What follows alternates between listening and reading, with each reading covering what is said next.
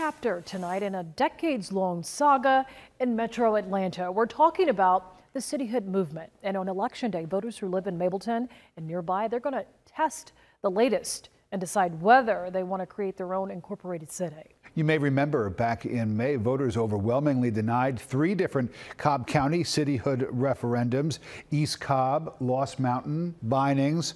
They all got rejected, and it came as a bit of a surprise after some very passionate campaigning. But there is a real chance that Mableton's cityhood movement could succeed where the others didn't. Atlanta News First reporter Rachel Aragon is live there to explain why. Rachel. Rick, well, Mableton right now, as you might know, an area of about 40,000 people. But come a few months later, if voters vote yes, it could grow to a city of about 78,000 residents. Some people say if voters vote yes, it means more tax dollars staying right here in this community. Others saying if they vote yes, it means additional taxes.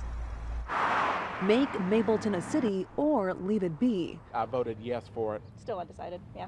You're going to pay the county taxes then you're going to pay a city tax. Residents of unincorporated Cobb County are split on this question that will pop up on the November ballot. If approved, the county will continue to provide services such as fire and police. Based on the feasibility study, the proposed city of Mableton is looking to take on uh, certain services. Services like planning, zoning, code enforcement, sanitation, and parks and rec. I think Mableton might need a little sprucing up. So fingers crossed. Local oversight is why some voters are for it. I hope if cityhood comes about, the services and amenities might improve. The proposed city boundaries include all of Mableton and include unincorporated parts of Austell and Smyrna, where Deidre White lives. But if they want to do a city, do it, but just do it in Mableton. White is a member of the Preserve South Cobb group. She says those outside of Mableton shouldn't be grouped into the proposed city boundaries.